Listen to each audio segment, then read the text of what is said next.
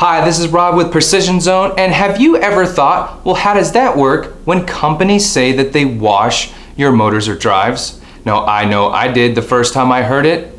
And washing and drying electronics is pretty commonplace in the repair field of motors, drives, and inverters.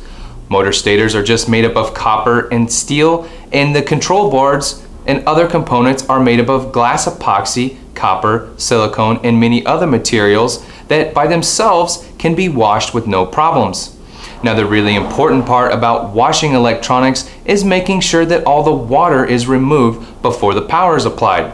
Now here at Precision Zone, we use several different sizes of ovens that are set at different temperatures so that we can properly dry out all the pieces without damaging them. Now I hope this makes more sense and if you have any questions please contact precisionzone.com. We repair motors, drives, and inverters, and they are all run on custom built simulators or machines, and all of our repairs come with warranties. Thanks for watching.